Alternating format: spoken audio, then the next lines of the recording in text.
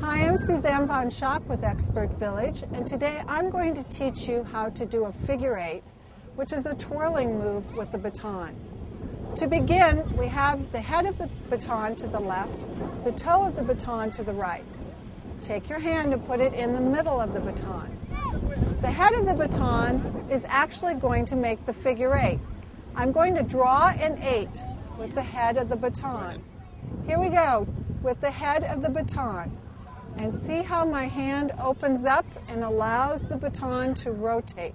So the head leads the drawing of the figure eight. I relax my hand, I let the palm open, and I control it right between my thumb and my forefinger. Very slowly, showing you slowly the head of the baton twirling. You actually twirl a figure eight. And as I go, if you're watching, if you can do a close up here, you'll see that it goes between my thumb and my forefinger in the palm of the hand. Head, head down.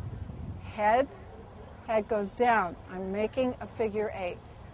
To the side, can see the eight as if I'm drawing it with the head of the baton. And here we go. Once you get the movement going with your wrist and your hand and your thumb and your forefinger, you are doing, woo, a figure eight.